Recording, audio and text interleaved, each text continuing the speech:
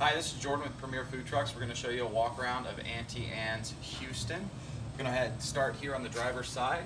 We have two outlets on the outside of the truck. Now this is so you can hook up your refrigeration inside and hook them up into regular extension cords so you can keep them cool overnight. Our next stop right here is our propane tank. When you first get your truck, you're going to make sure this tank gets purged and then filled. To open this door, it does have a lock right here that just turns. You can also lock it in place with a silver key on your key ring, and that way nobody can get in inside your propane tank. Right here, we do have the battery for the generator. If anything ever happens where the generator's not starting, you can actually put a uh, charge box onto the battery. This is the battery for the generator only. Once again, same exact door with twist lock here with the silver key right there to lock it into place. The generator is a diesel generator, so it is going to be running on a 30 gallon auxiliary diesel tank. You can see it's clearly marked here as diesel, so we want to make sure we keep diesel in that tank. If you fill this tank with gas, please do not start your generator. Please call uh, Premier Food Trucks or call your local mechanic that services your vehicle. Over here we do have our gas fill. Now this is for the truck itself. Same concept. If you put diesel inside the gas tank, please do not start the truck. Call Premier Food Trucks or please call your local mechanic. Directly above that is our generator battery switch. This way you can't run your battery dead by leaving things on like exterior lights.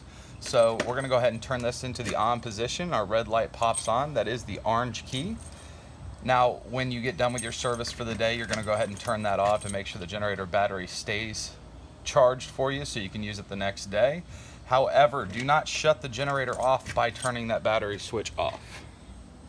We go ahead and open up our generator compartment here.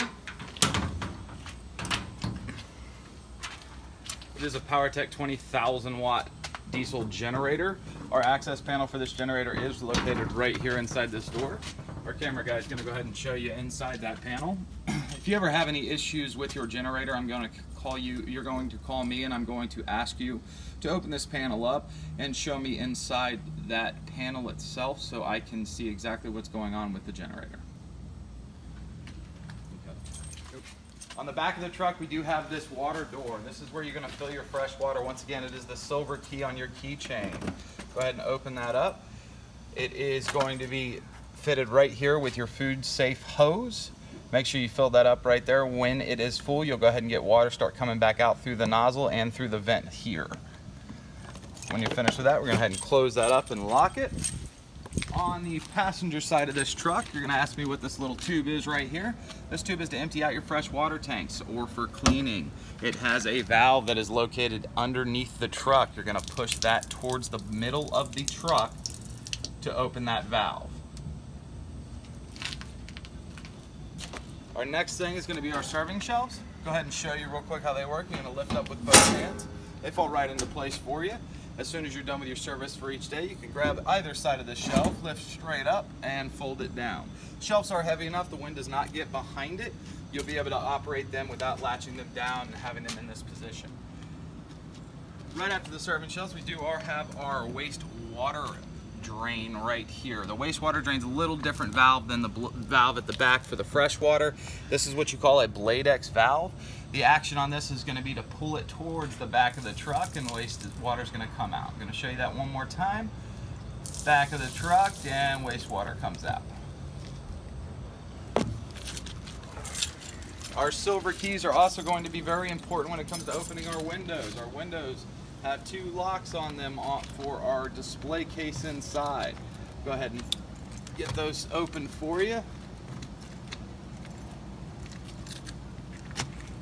And then go ahead and lift it right up. Inside here, we're gonna go ahead and walk into the back door. We're gonna locate our PowerTech uh, remote start switch. We're gonna hold that button down for about three seconds. Now what this is gonna do is it's going to go ahead and engage our generator. Now with the PowerTech 20,000 watt generator, you're going to hear a couple of different speeds. The first speed is warming up. After that, it's going to go ahead and engage right there. Now we can keep an eye on our fuel gauge here. This is going to be for the fuel tank for the generator only. Obviously, full means full, E means empty. And now we've got our generator ready and warmed up. We can move our way over here to our breaker panel. This breaker panel does have a main on-off breaker. We're gonna go ahead and switch that to on. When we are turning on all our breakers, we wanna go in one row and we wanna be three second intervals between each breaker. So we're gonna go ahead and get that AC unit on.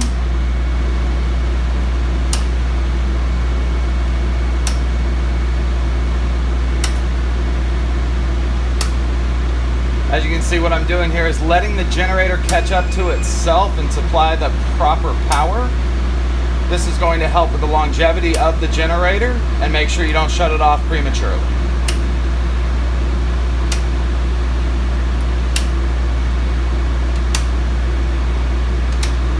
Now we got our lights on, we go ahead and flick that switch. At the end of the day, it's gonna go through the same process. We wanna go ahead and open our breaker box back up and we want to go ahead and switch our breakers off. This can be done at any speed. Just go ahead and make sure always that our brakes are turned off at the end of every single day. And to shut it off, we're just going to go to this PowerTech button and hold that button down. Generator will shut off for you. And that is your daily operations of the truck. Thank you so much.